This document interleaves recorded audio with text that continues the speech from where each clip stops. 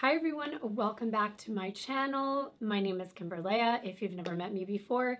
If you have been here before, thanks so much for coming back. Sometimes I laugh in my videos, sometimes I make jokes, sometimes I try to be lighthearted. It can come off as rude and I mean no disrespect to any of the victims in any of these stories. But this one, this one makes me feel really gross and it it really hits home for me. I live in Los Angeles and this story is just too real. Like it could happen to anyone. This killer has actually been known by many names. The Chiller Killer, the Boy Next Door Killer, and the Hollywood Ripper. And that is the one that stuck. Michael Gargiulo was born on February 15th, 1976 in Glenview, Illinois. Him and his parents and his brothers seemed like the typical middle class family. He attended a school called Glenbrook South High School, where his grades and baseball playing career remained much more unremarkable than his short temper. Yes, he had a short temper. The fact that they always say they were the typical family, were they though? But yes, he had a short temper. He always seemed angry and he took that anger out on others by bullying them. He was distant and antisocial from a younger age and he really never fit in. He was somewhat of a loner. He had a classmate, her name was Tricia Pacaccio, and she was the opposite. She was a bubbly, well liked 18 year old, and she was actually part of the school debate team. She had just gotten a scholarship to Purdue, so she had a lot going for her in her life. Tricia knew Michael because her younger brother was friends with him, and Michael had been in their home several times. They lived just a block away from each other, which is going to come into play. One of the reasons he's called the boy next door killer, but we'll get to that later. So it could be that Tricia wasn't that surprised when she saw Michael outside of her home in the middle of the night. This was on August 14th, 1993, after she was coming home from a school pep rally. The next morning, her own father made the gruesome discovery of his daughter's body.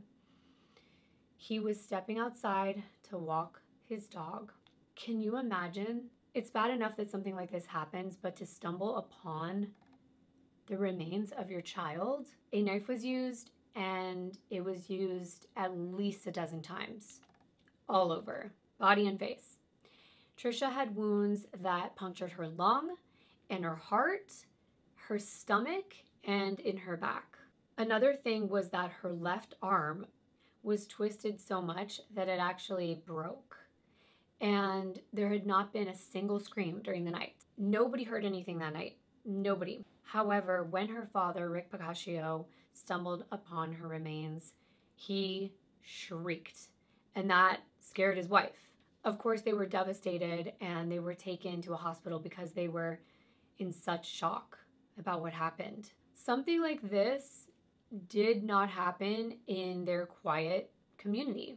Another thing that a lot of true crime cases say, but no one knew who could have done something like this. It was just too horrible. It was a close knit community. They just couldn't understand what happened.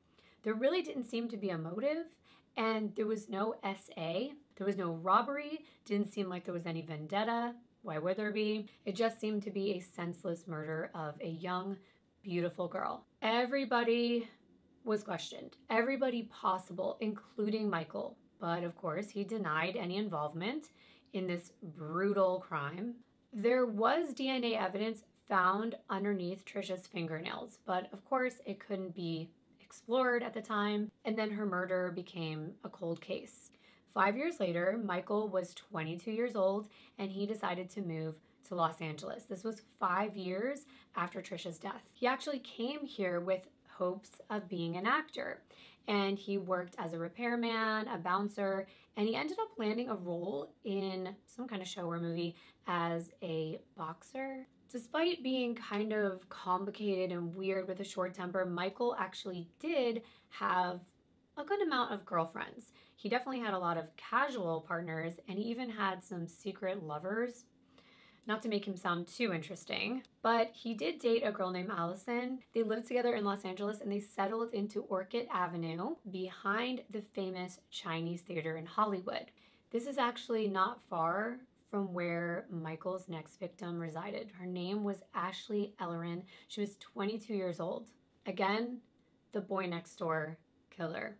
This is why. I like to tell a little bit about these victims. I feel like it honors their memory. And so, with that being said, Ashley was a student. She was a fashion student at LA's Fashion Institute of Design and Merchandising. And she was also a part time dancer when she actually met the famous actor Ashton Kutcher. Her friends described her as a small town girl from Northern California. She was beautiful, fun, and spontaneous. But Ashton and Ashley were introduced, that's a nice little combination of names, but they were introduced in December of 2000 and they met through friends and had gone out a couple times on some dates. A few weeks before she died, the two of them had reconnected. They bumped into each other at a housewarming party and they made plans to go out again. It was February 21st, 2001, and Ashley was getting ready for her date that night with Ashton. But back then, he wasn't who he is now or who he had been. He was not the famous actor. He was pretty unknown back then, but still, later on, he ends up testifying because, of course, something bad happened. On the night of their date, he called two times. He was letting Ashley know that he was actually going to be late. The second phone call ended around 8:45 p.m., and unbeknownst to him, just a few moments later, Ashley would die. Later that night, Ashton arrived at her house and he was wondering why she hadn't answered his previous calls. He thought maybe she was upset that he was late and he didn't know what else to think, so he knocked on her door, but nobody answered. He tried the door, but it was locked and the lights were on. So we decided to take a look inside of one of the windows and here's what's interesting. And I don't know about you, I don't think I would have assumed this. He looked inside the window and he thought he saw what looked like red wine on the floor on her carpet. But I wouldn't assume that. If I saw something red on someone's carpet, they weren't answering the phone, they're a woman, they're beautiful in Hollywood. I don't know. Like, I would investigate that a little further, but he said he thought nothing of it. And again, he just thought she was mad at him and she had left to do her own thing that night. And they were actually going to a Grammys after party that night. So it's kind of a big deal. And it was 1045 when he knocked on her door, just to give you the timeline. But then again, why would you miss out on the opportunity to go to a Grammys after party? So to assume that she just left with the red stain and her not answering, I just still think it's a little bit odd. But I forgot that I read that she had thrown a party the night before. So him thinking that the red wine was just spilled might not have been that odd. Just remember that. But of course, Ashton leaves, and the next morning, the police actually found Ashley's body. Again, this was brutal. This time it was 50 times. And you know what I'm talking about. Jodi Arias, okay? 50 times. 50. And that usually happens when you know a person. It usually is very personal, it's up close you're in a position where you could actually feel their blood. Do you understand what I'm saying? So, that many times, she was actually pronounced dead at 9:28 in the morning. And to just think that Ashton was there, could he have stopped it? I don't know. What if she would have still been alive? I don't think so though, because her injuries included a neck wound. It wasn't one that you could have survived because it nearly, you know, okay? And she definitely had deep enough wounds to her chest, her stomach, and her back, which is very similar to what we found in Tricia's case as well. Some of them were actually six inches deep. Oh my gosh. Okay, one of them actually was so bad that it looked like a puzzle piece had come out of her skull. Ashley had actually known Michael. She met him the previous October because he had offered to help fix a flat tire that Ashley's friend was dealing with on her car. And of course, Ashley was very beautiful, so he paid her a lot of attention and he was super friendly. There was nothing weird about his presence in that moment. And that was according to the friend that had been there and had her tire fixed. Michael had introduced himself as a local repairman because he did have an odd job as a repairman, and he gave the girls his card. And then Michael and Ashley kind of became friends, and he was a regular visitor over at Ashley's and her roommate's home. They did know each other, and Ashley's friends would later say they always thought Michael was kind of weird, and he had sort of what they described as an obsessive character about him. And he would sometimes be seen staring at Ashley from his pickup truck in the early hours of the morning. That's weird. And then, oddly, if that wasn't weird enough, Michael told Ashley's roommate that he had been linked to a murder near Chicago. Why would you tell someone that? It's like, is that a bragging thing? Are you expecting her to be afraid of you? What do you want? He also mentioned that if the FBI would ever show up, it was because they wanted his DNA. He would actually tell a similar story to one of his secret lovers, Velma. Velma had later testified that Michael told her that he left Illinois because of a murder he did not commit, but the police were trying to pin it on him because they had his DNA. The authorities actually questioned a lot of people and ruled out several suspects in Ashley's case before they were left with Michael. And because he was known to visit Ashley's house, even uninvited, they wanted to question him, but he turned out to be really challenging to track down.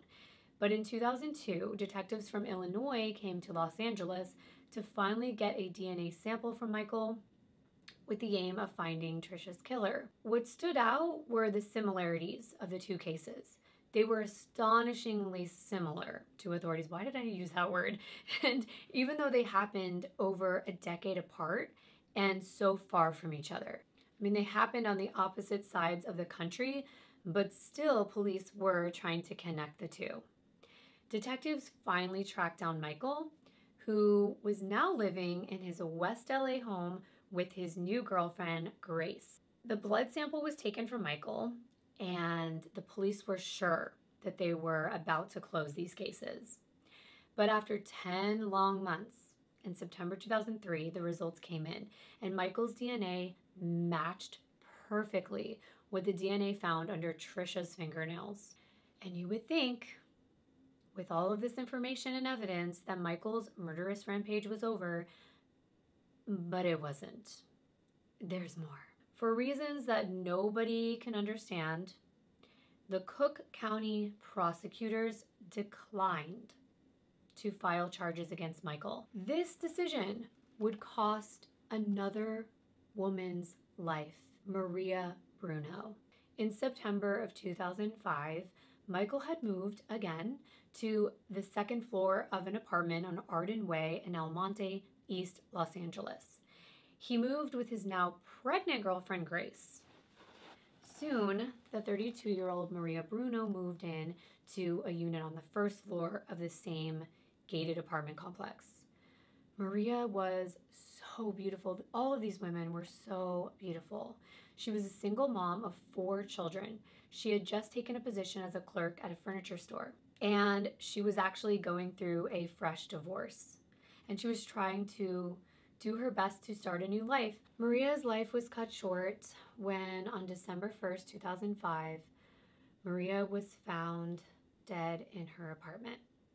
She was also killed the same way, and this was 17 times. And her throat and her chest was messed with in a way that just shouldn't be. and thank God her body was not found by her children, but instead it was found by her estranged husband, which doesn't make it any better, but thankfully her children were spared from being traumatized by seeing that. He told the 911 dispatcher that he found her in a pool of blood and that her breast had been one of her, you know, was actually put over her mouth why would you do that? You're a sick He was sick, completely deranged. A Los Angeles County Sheriff's Detective, Mark Lilienfeld, had actually said that Maria was a mother, she was a wife, she was a daughter, and she was a sister. He was the one that investigated Maria's death. And he just said she was all of those things to all of those people. I just don't understand why someone who does this doesn't think about that. Don't they care What if they what if this happened to them or someone that they knew or their own mother? Maria had actually moved from El Salvador to the United States when she was younger and she met her husband soon after that. The two got married and she later gave birth to four children. She left behind 2-year-old twins, a 4-year-old and a 5-year-old. Neighbors were questioned, but again, nobody really fell under suspicion and the police tried to knock on Michael's door several times, but no one answered his girlfriend had moved back into her parents' house to get away from Michael because he'd end up becoming abusive. But she actually saw a police flyer later and it detailed the murder. And she was shocked to see the familiar address. Instead of calling the police, Grace ends up calling Michael. And she was just shocked because she knew this victim. She even helped her bring her groceries inside. That's just way too close to home. Maria's murder remained unsolved and years passed by. By 2008, Michael had married and he was living with his new wife in Santa Monica. He was living close by to his next victim. He was actually living on the same street. His next victim's name was Michelle Murphy. She was a bubbly 26 year old, and on April 28th, she had a really busy day. She was doing housework, she was exercising, she was jump roping and sprinting. And then after dinner, she was watching TV and then she headed to bed. Michael uh, was in her bedroom and she woke up to find him repeatedly, you know what, multiple times. She was screaming, she was fighting back, she was muscular, um, she was you know, in really good shape. And she ended up kicking Michael as hard as she could. I mean, she was determined to get away from him. She got several stab wounds to her hands, her arms, her chest, but she still managed to get away. She had grabbed the knife so tightly that the blade cut her. Not only that, she held onto it so tightly that the blade was pushed back into Michael's hand. But she kicked again and again and again, and she was actually able to push him off of her. Then something weird happened. Michael fell off the bed and he was like out of a trance. He, it's like something clicked in his head. He got up and he said, I'm sorry. He apologized to her and then he escaped through her front door. She obviously ran, locked the door, and called her boyfriend and 911. But now they had Michael's DNA because she was able to cause the knife to cut his hand and blood was left behind. Four weeks later, that DNA sample was matched to Michael and he was linked to the three previous murders. He had lived close by to all of these people. So all four cases kind of came together and they revealed the truth. And the truth was the incompetent police work.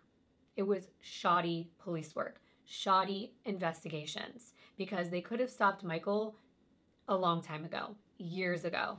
But finally, on June 6, 2008, Michael was arrested and charged with the attempted murder of Michelle Murphy and the murders of Ashley Ellerin and Maria Bruno. On July 7, 2011, the Cook County State's Attorney finally charged Michael with the first degree murder of Tricia Pacaccio.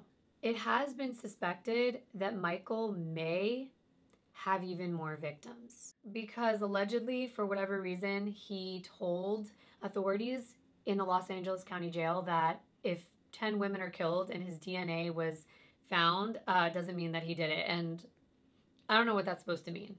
And he hasn't been linked to any other murders.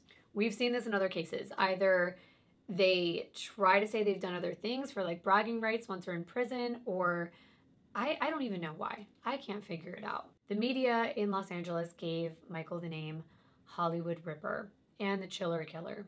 But like I said, Hollywood Ripper is the one that stuck. After many delays, Michael's trial began here in California on May 2nd, 2019.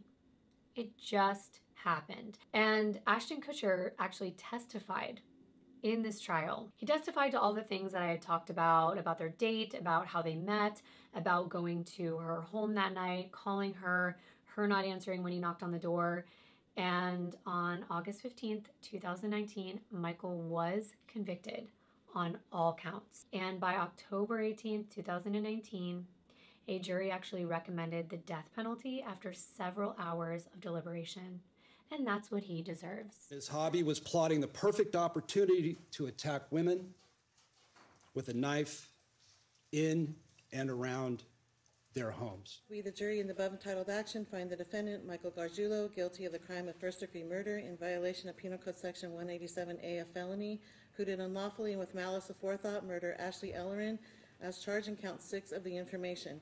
We further find the special circumstance that the defendant intentionally killed the victim by means of lying in wait within the meaning of Penal Code Section 190.2A15 to be true.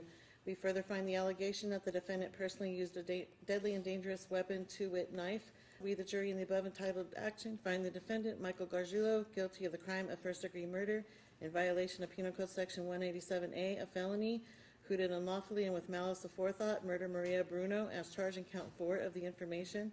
We further find the special circumstance that the defendant intentionally killed the victim by means of lying in wait, guilty of the crime of attempted murder in violation of Penal Code Section 664/187A, a felony, who did unlawfully and intentionally attempt to murder Michelle Murphy as charged in count two of the information. Sentencing for Michael in California has continued to be delayed.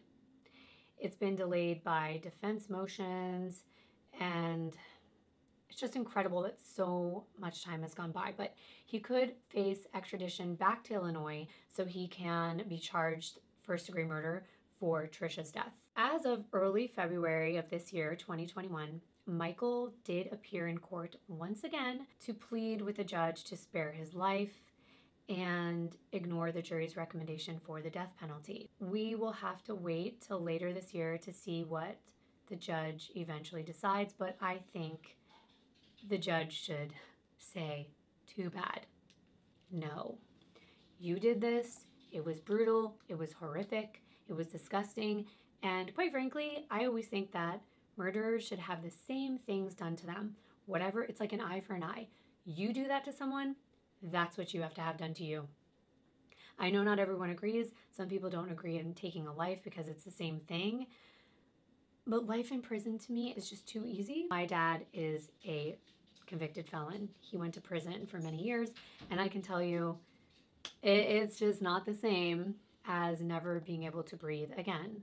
Leave it below. Are you for or against the death penalty? And tell me why. Keep it clean keep it kind. Well, once again, thank you so much for watching. If you like this kind of content, please don't forget to subscribe, give this video a thumbs up if you enjoyed it, and I will see you in my next video.